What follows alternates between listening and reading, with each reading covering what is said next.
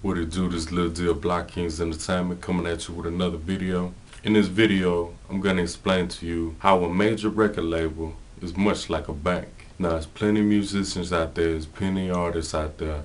It seems like they only got one goal in mind. I gotta get signed, I gotta get signed, I gotta get signed. Now, what I plan to do is just give you some open-minded truth on some of the major record labels because you really need to look at record labels like you look at a bank instead of looking at them as a winning lottery ticket or a studio.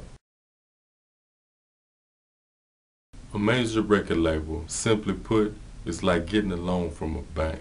What you do is you get this financial institution interested enough into what you do as being an artist, as being a singer, as being a producer. You get them interested in what you do enough that they invest into what you already have going. What you got to understand is record labels don't sign you because they like you. Record labels don't sign you because you make great music. Record labels sign you because they see dollar sign.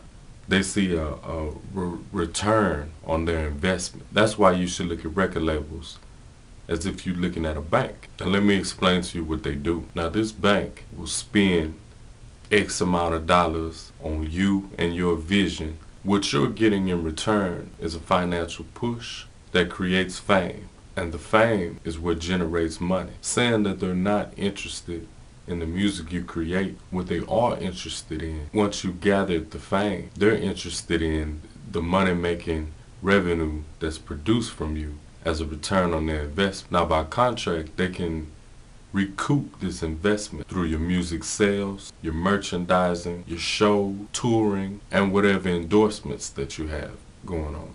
They're looking at the full package. Another thing a record label will do is they set your budget you know, the money that they're going to loan to you. This goes for your recording costs, your promotions, everything that has to do with your project. One thing you need to remember up front is since they are supplying the push, the contract is going to automatically be tailored more towards them because they look at it like I'm the one that put you up there. I'm the one that got you there. Now this video was not recorded in terms to scare you. It just was recorded for you to be open-minded towards the choices that you make. Major record labels should be looked at as banks that loan. They are by far not dream machines that make millionaires overnight. This is Lil Deal Blockkingz Entertainment.